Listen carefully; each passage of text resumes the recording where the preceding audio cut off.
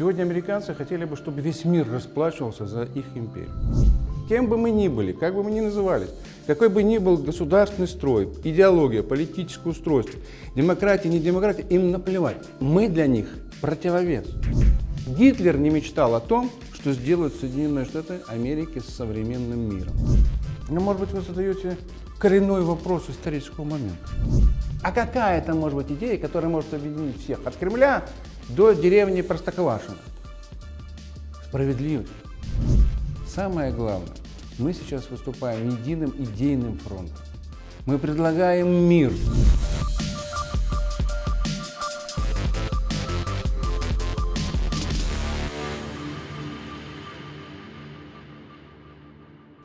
Вадим, рад приветствовать. А какие события, на ваш взгляд, э, последнего времени были определяющими для состояния безопасности Восточной Европы и Беларуси в частности? Ну, если начать с Беларуси, то это, конечно, первое.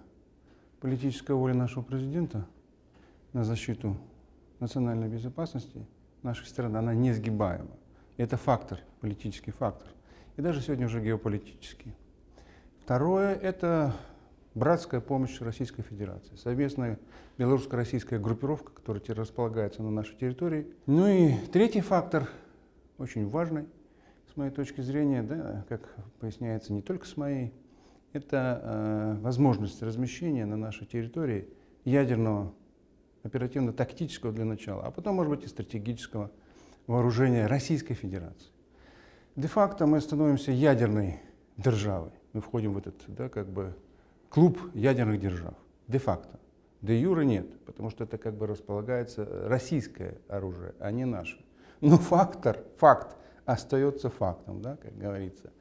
И сегодня уже кто строит какие-либо козни против Республики Беларусь, этот фактор не может не учитывать. Просто-напросто потому, что он смертельно опасен для них. Конкретный, так скажем, договор между двумя президентами. Лукашенко и Путиным. И Путин отразил, так скажем, да, самое главное, то, что мы сегодня одно целое в сфере безопасности. Это было еще заявлено в августе 2020 года Российской Федерации, что любое нападение на Республику Беларусь извне ли, изнутри ли, кстати говоря, будет рассматриваться Российской Федерацией как нападение на самое себя, на Российскую Федерацию. Это высший уровень союзничества и он действительно сегодня достигнут, и он является важнейшим фактором, вот даже в региональном смысле. Он сдерживает те амбиции, те авантюристические да, планы, которые есть у Запада, по изменению территорий, границ, соотношению сил в нашем регионе. Это один из краеугольных камней сегодня, который э, удерживает мир от ядерной катастрофы. А по вашим наблюдениям, вот, э, ну, если брать за точку отсчета начала э, СВО, вот за это время э, изменились ли линии поведения основных игроков, если попробуем их перечислить? Россия, Запад, ну, Запад коллективный, наверное, да, потом Китай, страны Азии, наверное, которые не Китай, больше арабский мир, да, и, и вот сейчас заявляет о себе Африка, например, э, последняя инициатива ЮАР, например, о мирном урегулировании, ну, чего от них, наверное, мало кто ожидал. Ну, э, я вам так скажу, что, в принципе, эти процессы давно назревали. Ну, не может быть мир монополярным. Это по определению. Хотя это идея фикс всех американцев. Там начинают, там, кстати, Байдена, да, Кондолиза Райс, и даже как бы здравомыслящего Генри Киссинджера. Если вы почитаете его знаменитый труд, основополагающий, ставший уже классическим, «Diplomacy», «Дипломатия», он там ну, берет как бы такой очерк всей истории. Да? И он везде доказывает, главная его мысль заключается в том, что многополярность всегда ведет к войне, а вот однополярность всегда успокаивает всех, наводит порядок. И сегодня Соединенные Штаты Америки должны навечно остаться этим единственным полюсом. Сегодня американцы хотели бы, чтобы весь мир расплачивался за их империю. Они глобальную империю создают, значит, в случае чего будем все рассыпаться. Вот сейчас назрел дефолт, да? Значит, он... Да, уже, уже дату объявили, 1 да, июня. Да, но что он сказал? замечательный президент Соединенных Штатов Америки. Если у Америки будет дефолт, у всего мира будут проблемы. То есть за все наши дела будете отвечать вы, грубо говоря, и расплачиваться вы. Но мы и так уже во многом расплачиваемся. Поэтому весь мир не хочет расплачиваться, не хочет расплачиваться за американскую монополию. И он давно стремился к этому. И много раз, не раз звучало как ну, идея. Скажем, да, это вот Шродера вспомним, да, Ширака и так далее, и так далее, на рубеже э, 2000-х годов. Потом их всех убрали, как ненужных, да, и так далее, и так далее. Вот сейчас преследуют, в том числе того же Шрёдера, жену Шрёдера, вот, то, за то, что она пошла в посольство России на 9 мая. Ее тут же уволили, без всяких объяснений. И даже пропечатали в газете. Вот. Э, но это все попытка услужить американцам. Бездумных людей. А что будет ждать да, ту же Германию, ту же Францию в дальнейшем, если США потерпят крах? Вот африканские страны в том числе, они давно боролись за свою независимость. 1961 год – это был год Африки. И тогда более десятка государств в этот год одновременно в Африке обрели независимость. Потом были очень сложные времена, но сегодня пришли к тому моменту, когда эти государства отлично знают, что такое Америка, что такое американский или любой другой империализм, и что с этим нужно бороться. Только силенок у них нету.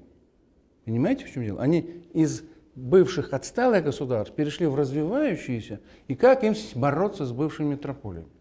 Раньше была надежда на Советский Союз, и Советский Союз действительно помогал. Я сам помню те времена, когда представители Африки, арабских государств и так далее, так далее. Вот маленький пример. Э, в быту какой-то студенческой аудитории, ну, грубо говоря, курилка. И один из наших советских студентов взял да брякнул анекдот про Брежнева. Ну, как бы для нас было да, понятно, все посмеялись над Лидой Ильичем. Я тут был поражен. Один из арабов как набросился на него, как ты смеешь на этого великого человека. И, может быть, он был прав. Потому что для них, для арабов, да, для африканцев, Брежнев, Советский Союз, советский народ, белорусы, россияне, это была единственная надежда, что они смогут вырваться из колониальной зависимости. А потом, бац, Горбачев разваливает СССР. Что им делать? Они легли, за, затаились, еще чего-то, стали услужу, услужать, где-то прикидываться и тому подобное. И дождались, 30 лет прошло, произошло то, что неизбежно. Российская Федерация, да, сначала, давайте назвать вещи именами, Беларусь поднимала постоянно этот голос, да, суверенитет, независимость, самостоятельность, т -т -т. Но опять же ресурсы у Республики Беларусь не велики для того, чтобы на нее надеяться всему остальному миру. Китай вел себя очень э, сдержанно, раз уж мы этого коснулись, да? Он тоже выплывал но в каком-то политически, своем... но экономически. Да, э, экономический Африке, рост, да. Э, он очень активен. Проникал туда, да. очень активно в Африку, понимая, чего там заложено в этом африканском континенте. Но э, делал это очень осторожно, не заявлял свои амбиции. И вот, когда мы стали строить союзное государство, объединились Беларусь и Россия – в 2011 году были две статьи и Путина, и э, Лукашенко в газете «Известия». Тут же американцы среагировали. Хиллари Клинтон, тогда госсекретарь США, значит, бэмс кулаком своим, да, или кулачком, или что там у нее, заявила, мы не допустим восстановления Советского Союза. То есть мы для них в любом случае, Советский Союз, кем бы мы ни были, как бы мы ни назывались, какой бы ни был государственный строй, идеология, политическое устройство, демократия, не демократия, им наплевать. Мы для них противовес.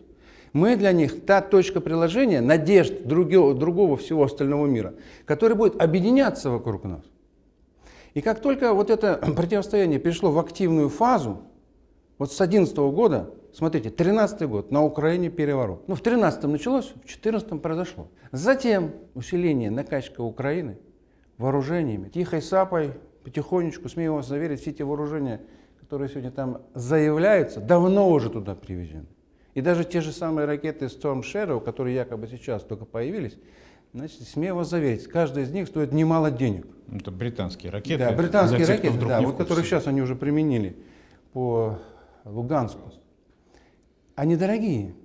Их доставка не в обычных вагонах происходит. Это целая специальная операция. Там работают секретные службы, чтобы никто не взорвал, чтобы никто не проследил и так далее, и так далее. Это за неделю не привезешь. Даже современной военной логистике надо обходные пути. То есть я еще раз говорю, это была целая операция, которая осуществлялась давно. И когда Россию вынудили, Россия все надеялась, что вот она предъявит какой-то, значит, ультиматум или какое-то там предложение сделает. Помните, это путинское предложение? Дайте нам ответ. Письм, ну, ну, письменный. Да. Помните, да? Письменный. Был нюанс. Да, Письменный потому ответ. что ну, с Горбачевым уже имели дело. Там обещали, что ни НАТО не будет расширяться, но все это было устно, то есть это в воздух ушло. Поэтому Путин требовал какого-то письменного ответа. Мне это напомнило ситуацию перед Второй мировой войной, когда Ворошилов вел переговоры с Англией в Москве, которые длились полгода, и которые не- значит, о совместном противостоянии Гитлеру. И когда уже Ворошилов не выдержал в конце июля месяца и сказал, слушайте, господа, объясните нам, объявите, пожалуйста, вы намерены хоть что-нибудь подписывать? Они сказали, ответ был такой, мы должны посоветоваться с Лондоном. Ну, ну все, извините, до свидания.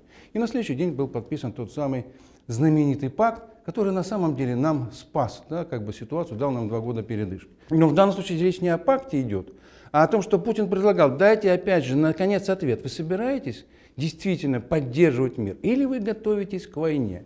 И каков же был ответ? Они не сами ответили. Они же не отвечали. Никакого письма не было, никакого заявления Байдена или кого-либо или еще. Они подослали на цирлах свою вот эту вот шушу, шушеру, да, господина Зеленского, который, значит, на Мюнхенской конференции заявил, дайте нам ядерного оружия. Все стало ясно. Если Украина требует ядерного оружия, а как она вообще может что-то требовать? То есть ясно, что ее науськали, иди, поди, скажи, иди, поди, заяви. Он взял и брякнул. Значит, это заявление самого Запада, что он готов идти на ядерную войну. И тогда стало абсолютно понятно, что ядерная да, как бы инфраструктура приблизится к России на 600-700 и 1000 километров. То есть, грубо говоря, пистолет ядерный поставят у виска Москвы. Все, оставаться в этом положении было просто смерти подобно. Что и заставило Российскую Федерацию предпринять. Да, мы понимаем, что защищать своих э, русских да, на Донбассе, это тоже верно. Но угроза стала не только для этих людей, которые 8 лет страдали от украинских националистов и нацистов, а угроза для самой России. А исчезнет Россия, та же Африка, та же Азия, тот же Китай, он останется один на один с Соединенными Штатами Америки. Африка, Азия, они сразу отвалятся.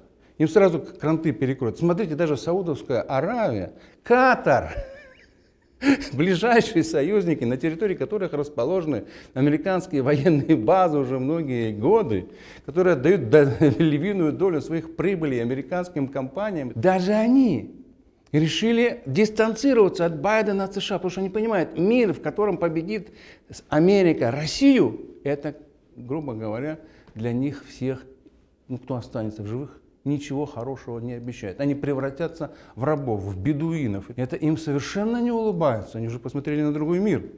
И поэтому они тихонечко, не заявляя, иногда не тряся флагами, начали приближаться в сторону России. Китая, России. Сегодня действуют через Китай. Но Китай уже ближайший союзник Российской Федерации.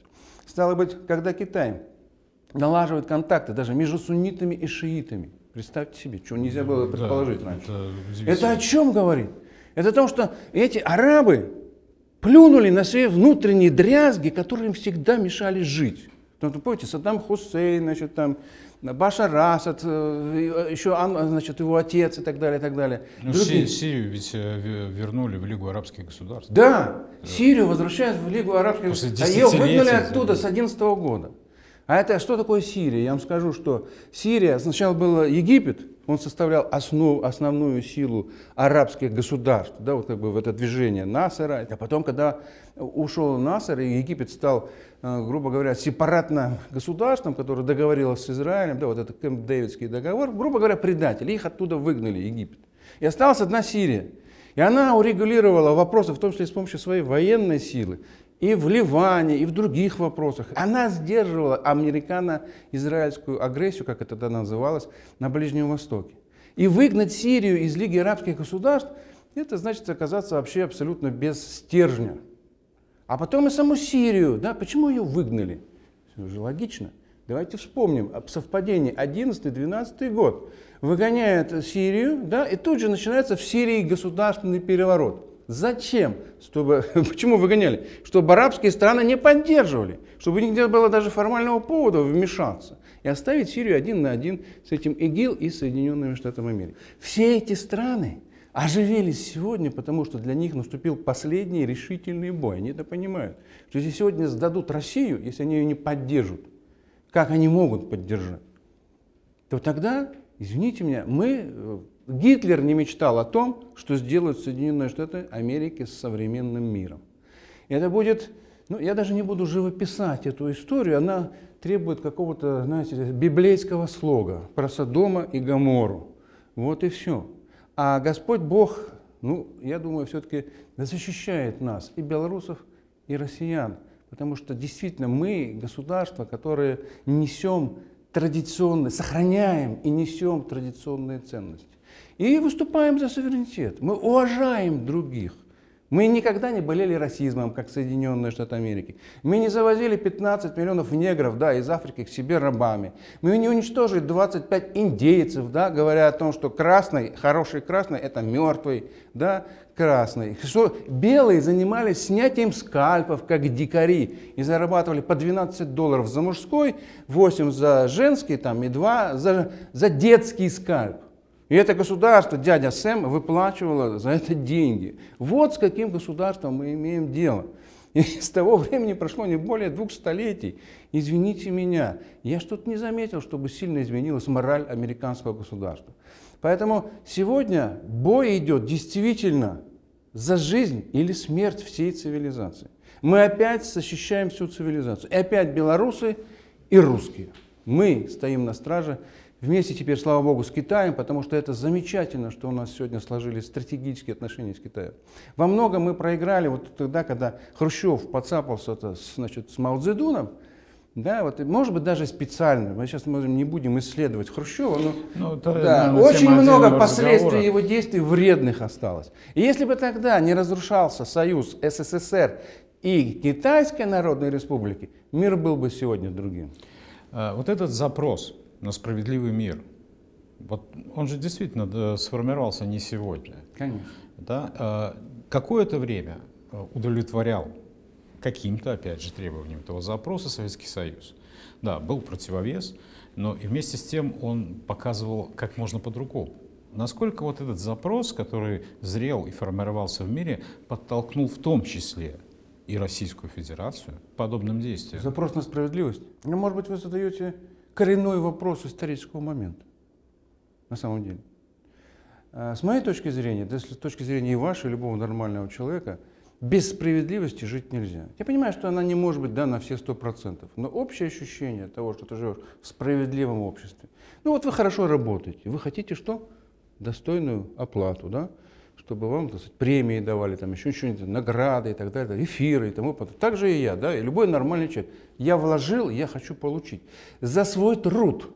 Не за то, что у меня фамилия такая, да? не за то, что мне кто-то позвонит, дзынь и скажет, ну-ка поставь его, да, и так далее. И за то, что я, у меня папа э, Ротшильд, да, или Рокфеллер, и мне вообще открываются все двери я принадлежу к 2%, да, которым принадлежат 83% мирового богатства. Вот не за это, а за человеческие ценности, за то, что за общественную пользу. В этом и есть основная социально-политическая справедливость.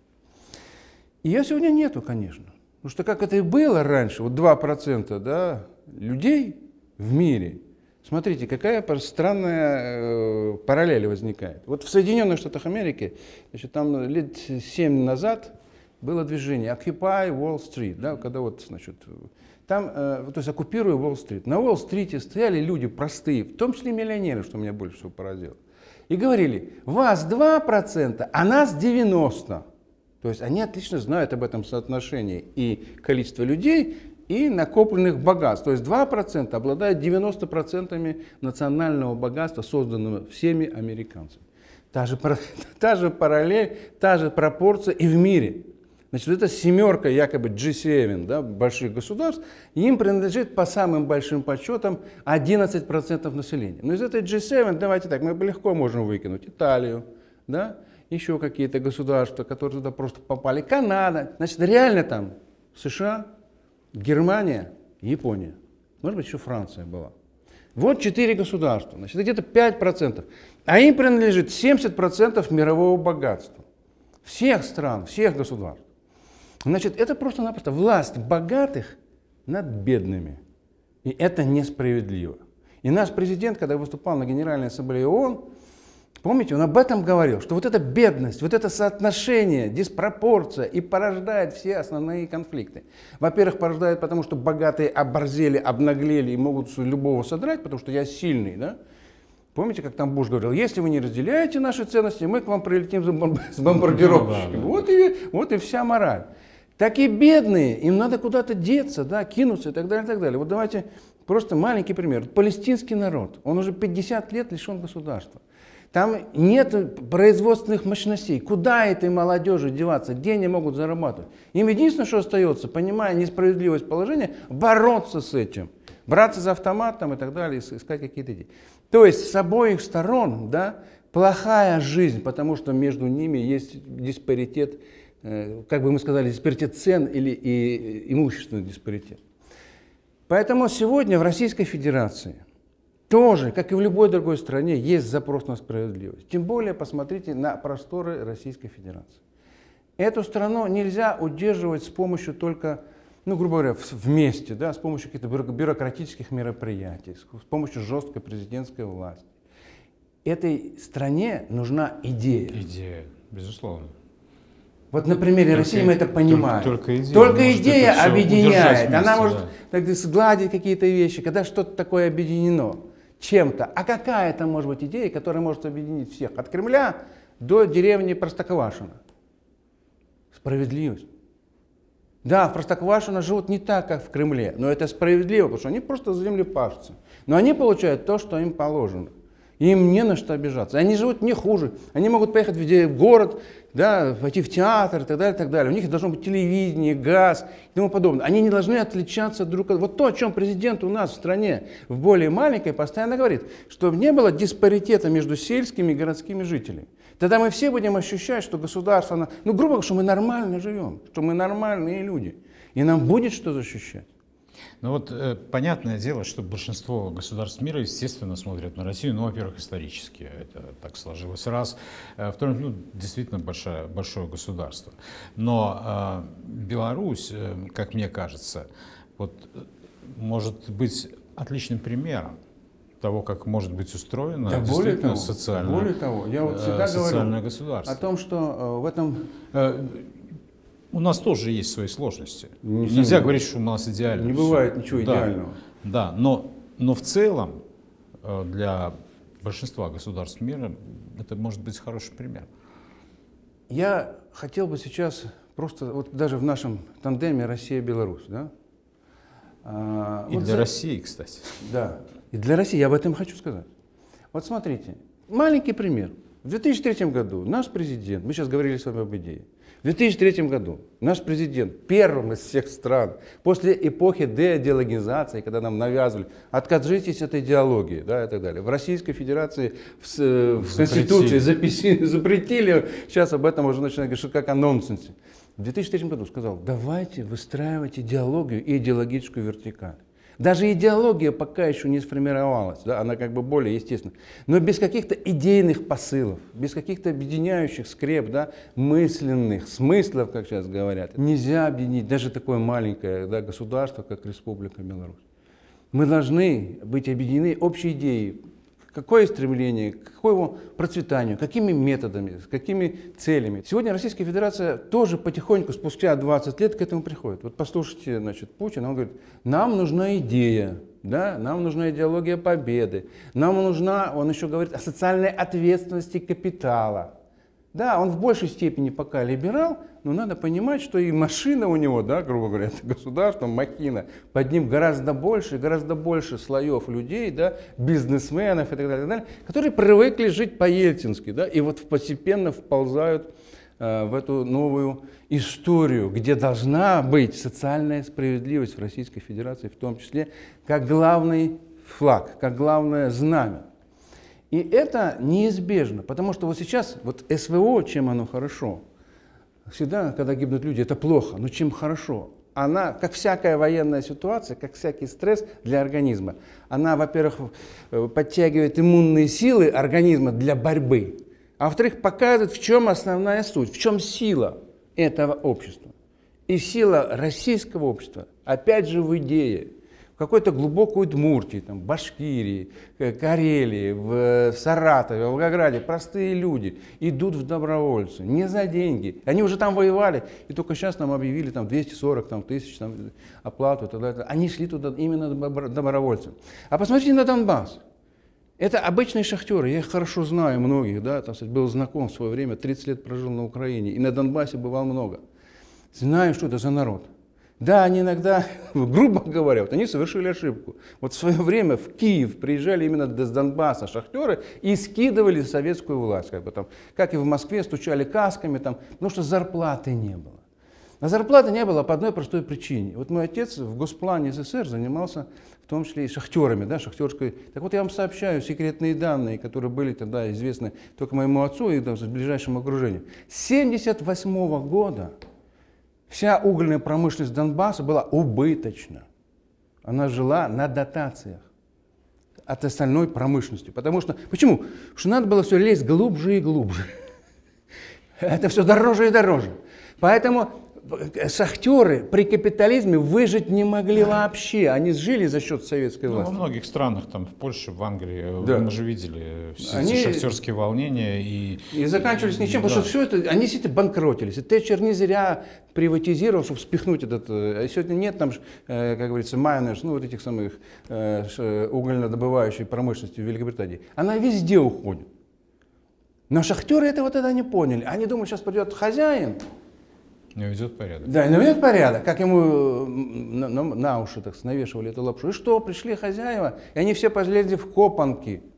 То есть шахты закрылись, и они сами там с мешками, как в 19, каком там 19, наверное, 12, 15 веке за этим угольком. Сколько там задавилось в этих да, частных копанках э, шахтеров, никто и не знает.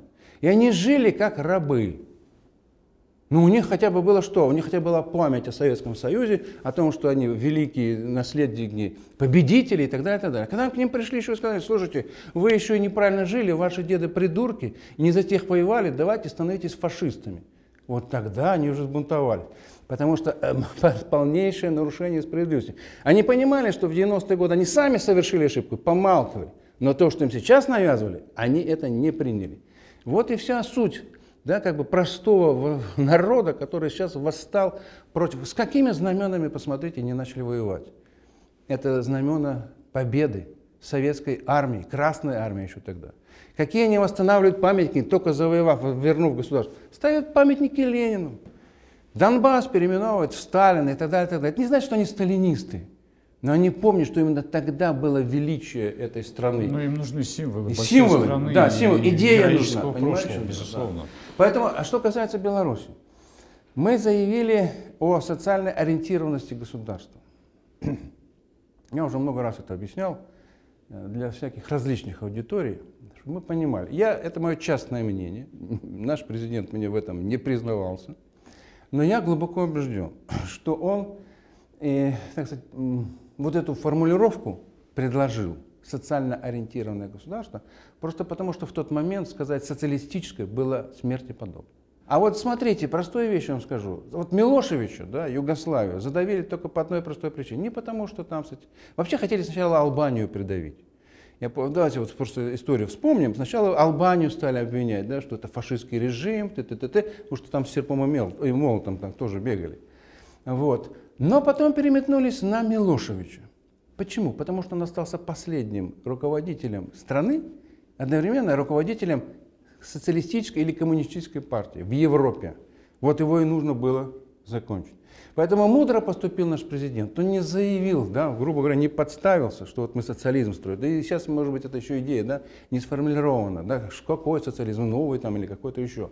Но то, что социальная справедливость в основе социалистической экономики и государства, это абсолютная правда. И поэтому, когда мы говорим о социальной ориентированности нашего государства, Мы должны понимать, что это ориентированность на народные интересы. Если мы берем слово социум, просто социум, то это все вообще, да? И олигархи, там и богатые, и бедные, и бомжи. Они все составляют социум. Мы же не можем на них на всех ориентироваться, да? Скажем, бомжам мы говорим, ребята, там, тунеядцам, идите работайте, да? Богатым мы говорим, слушайте, вы слишком много а ну-ка платите, да, налоги и так далее, и так далее. То есть разные отношения. А кто является сутью, центром приложения и, грубо говоря, заботой государства? Трудящиеся люди, простые люди, трудовой народ. И вот именно эту идею мы раньше начали. Мы ее продвинули, и мы ни в коем случае не должны ее выпустить из рук. Рано или поздно Россия обратится к нам. Друзья, братья, ну как у вас? Да уже сейчас многие россияне смотрят. Так э, нет, что обратиться, вы посмотрите на, да. Э, послед... ну, во всяком случае, последнего времени действия э, властей экономических даже Российской Федерации. Ведь очень многое просто вот как под копирку, то, что делалось у нас там несколько лет назад, это делается сейчас. В условиях войны, военной операции, да, и это несколько разные условия. Может быть, поэтому еще и Путин, он всегда от, отличается таким э, последовательным, эволюционным путем. Он очень сдержанный человек. И если бы, скажем, в условиях военного времени, да, то надо было точно проводить мобилизацию всей экономики, создавать мобилизационную экономику. Надо было создавать ГКО, Государственный комитет обороны там, и так далее. Все от этого пошло бы. И тогда все эти предприятия, в том числе, да, ну, можно было бы и приватизировать. Если вы плохо работаете, не поставляете, забираем, национали... то есть не приватизировать, а национализировать. То есть проводить социализацию экономики. И если будет серьезный конфликт, вы меня, не дай бог, конечно, чтобы вы могли возможность меня проверить, но если это произойдет, увидите вот все эти методы, о которых мы сейчас с вами говорили, социализации, да, или советизации, или белорусизации – управления жесткой вертикали, они будут тут же применены на территории всей Российской Федерации. Вот это одна из причин, почему затягивается СВО уже в течение года. Потому что быстро вот в условиях да, капиталистической экономики этой, которая еще носит на себе оттенок либерализма да, прежнего, очень сложно вот провести эту мобилизацию. Потому что даже частные лица, бизнесмены, вот скажем, наш с вами коллега Соловьев, да, говорит, вот мы там, значит, частные, да, какие-то бизнесмены в обход государства везут, да, значит, на, на, на передок какие-то, значит, ну, геликоптеры, нет, еще это, это хорошо, если везут, но они могут точно так же и не вести. Да, и могут ничего, и не вести, и, да. И ничего. Но это не решает проблемы. Нет, это не те масштабы, это которые не необходимы. Это не система. Как, а вот система-то пока что кряхтит и не разворачивается. И в этом одна из, из проблем основных. Для Украины Беларусь, опять же, каким может быть примером и должна быть, наверное, каким примером того, как, как можно жить спокойно, э, мирно, развиваясь, в том числе в союзе с Россией. И до последнего, не мы же, опять же, портили отношения с Западом, они с нами испортили отношения. Сложный вопрос, Юрий, задали, но я бы на него, наверное, в трех плоскостях ответил. Сейчас говорят, МРТ делают, да, там, в трех плоскостях. Вот что-то в этом роде и мне нужно проанализировать. Первое. А, смогут ли они когда-нибудь да, воспринять наш белорусский пример вот, хорошей жизни, как можно жить? Я верю, только верю, что это когда-нибудь произойдет. Потому что в основе-то своей, да, украинский народ нормальный, хороший народ, трудовой, трудяга. Нет плохих народов. Ну, нет, да, нет плохих Но... народов, это точно. Но если говорить об украинцах, с которыми мы братья, кровные, то, наверное, у нас с ним особое да, как бы чувство. И мы знаем, что они действительно, ну, 30%, скажем, да, советской армии это были украинцы. Вот, кстати, вот мы это сейчас ощущаем. И трудовые успехи, да, Стаханов где, да, ну я сейчас не буду все это перечислять. Не прогресс, там мы поехали, поехали. Но дело в том, что в, начале, в начале 90-х годов, уже тогда наш хороший пример, украинцы не восприняли.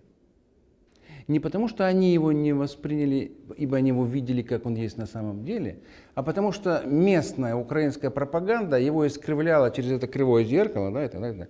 Я вам приведу простой пример. Я в то время жил на Украине, так что не могу вам соврать. И говорю это как свидетель.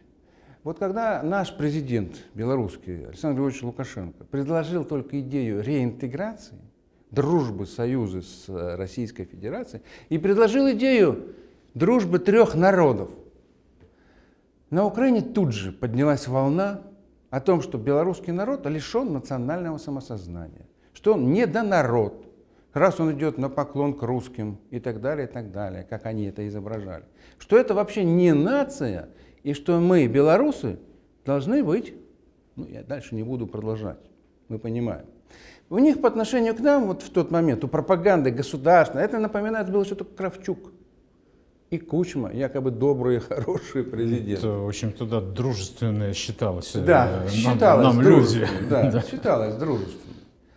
Но а, есть, одна, есть родовые как бы вот, травмы. Да? Я вам приведу другой, более глубокий пример.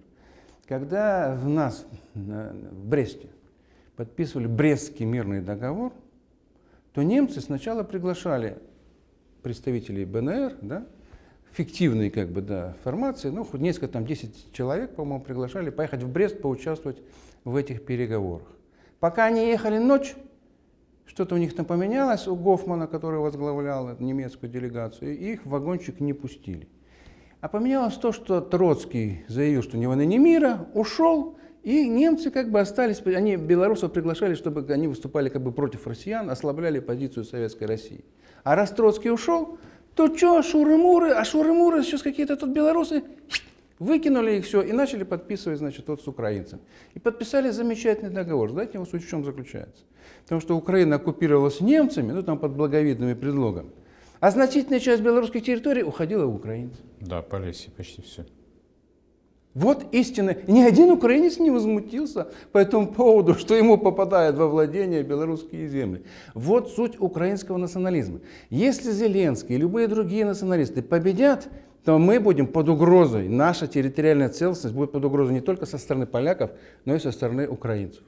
Поэтому нам нужны непростые да, как бы отношения, независимость от того, кто в Киеве. Вот это была от наших, а, так скажем, ошибка, я считаю. И наша, и россиян. Мы говорим, нам все равно, кто там будет. Вот мы допрыгались, что нам было все равно. Кто, мы будем иметь дело с любым. Вот имеем теперь дело с Зеленским. Это наше ближайшее окружение, это наша сфера влияния. Мы об этом должны не стесняться и прямо говорить о наших геополитических интересах белорусской страны, белорусского народа.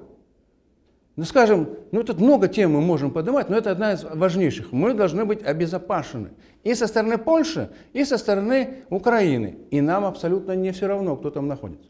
Поэтому украинский народ сможет что-либо осознать и понять, воспринять то полезное, что делает белорусский народ, только тогда, когда там будет установлена правильная народная власть. Власть, я в том смысле, что отражающая интересы народа украинского, вот того самого трудового, а не олигархов и так далее. Потому что если вы посчитаете олигархов украинцев, да, ну давайте вещи называть своими именами. Там половина, если не 80%, вообще не украинцы. Там поехали Аваков, Тимошенко, армянка там, и так далее, и так далее. Я не буду сейчас перечислять. Ахметов, так, Зеленский, Порошенко. Это не украинцы. Но они восприняли украинский национализм как э, идеологию, которая помогает им да, захватывать все новые и новые территории, перебирать к рукам все новые и новые авуары, да, и так далее, и так далее. Тот же Порошенко нахапался, значит, э, киевская фабрика, да, началась с этого. Потом, значит, э, Ленинскую кузню, которая делала подводные лодки в Киеве. Затем почему-то ему зачем-то понадобился в Севастополе ремонтный завод Черноморского. Он где мог, грубо говоря, что вот плохо лежит, он все хватал. Надо ему, не надо и так далее, и так далее. Это инстинкт алчности. И вот этих алчных акул, так скажем, да, безумных, которые пошли на услужение американцам, потому что они поняли, что рано или поздно без Америки они не смогут удержаться у власти.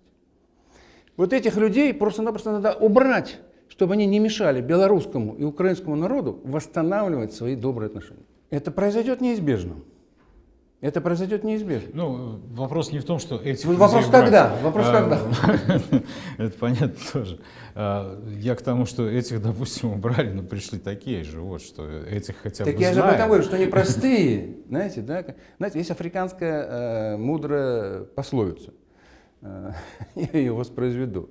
Значит, идет белый по саванне, смотрит, значит, к Баобабу привязан человек, голый, да, и, значит, на него насыпали муравьев.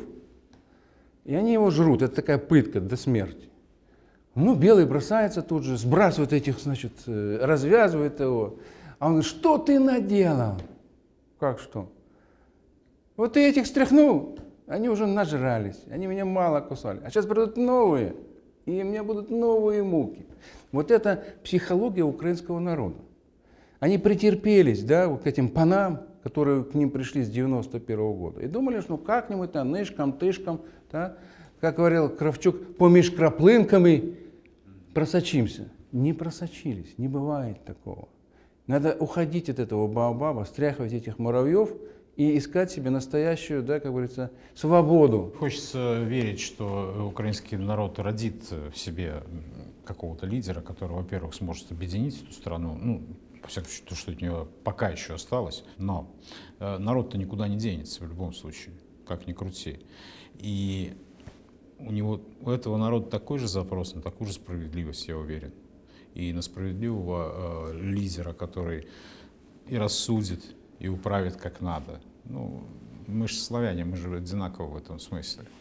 И, но вот 30 лет никак не получилось. Вот э, не появился такой человек у них. Это, знаете, тоже проблема, а, может быть, чисто специфическая для Украины. Вот я хочу воспроизвести украинскую поговорку. Украинцы говорят так. Там, где сошлись два украинца, там три гетмана.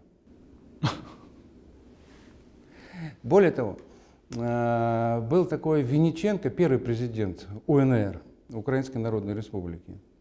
Э, о нем почему-то вот сейчас, заметьте, украинцы не вспоминают, даже украинские националисты. Потому что он разочаровался.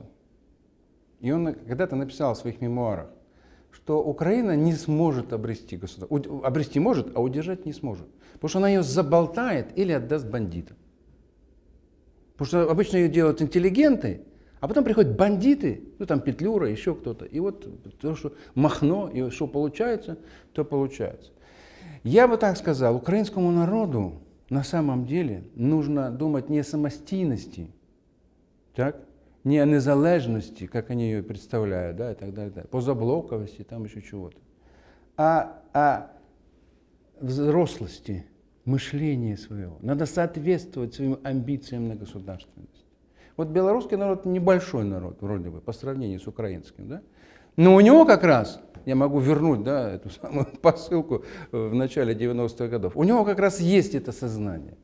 Вот здравомыслие – мы понимаем, что от добра добра не желают, что нельзя предавать память своих отцов и предков, что, грубо говоря, где родился, там и пригодился. А сколько украинцев живет сейчас в Канаде, в Австралии, в Соединенных Штатах Америки, ну, в не, Аргентине. Не, не только сегодня, это диаспора. Да, это давно. Да. Это исторически. Понимаете, в чем дело? Поэтому белорусов в этом столько, там есть тоже что-то такое. Есть что-то и в национальном характере белорусов такое, да, грубо говоря, которое удерживает у нас да, здравый смысл. Мы вот в истинном смысле э, здравомыслящие и трудовые люди. И поэтому мы не спешим кидаться из крайности в крайность, как украинцы. Да? То они дружили, были 350 лет дружбы с Российской Федерацией, с русским народом там, и так далее, и так далее. То они, значит, ненавидят этих русских, отвергают и тому подобное. Но возвращаясь к перспективе, конечно же, рано или поздно братство наше восстановится. Я в этом уверен. Но просто вот, как вы сказали, вот 30 лет пропаганды не с 2014 года началась. Она началась буквально еще даже с 87 года. Ну, да, еще до перестройки, потому иначе бы не было бы вот этого выхода из СССР, и развала и так далее, и так далее. Вот эти почти уже 40 лет пропаганды, они должны были принести определенные плоды, и они их принесли. Самое страшное из этих плодов, они породили целые, уже два поколения людей, которые убеждены, что э, им нужно воевать с Россией в том или ином виде. Сначала экономически, да, а потом даже в буквальном смысле этого слова. Вот сейчас нужно, чтобы эти два поколения ушли.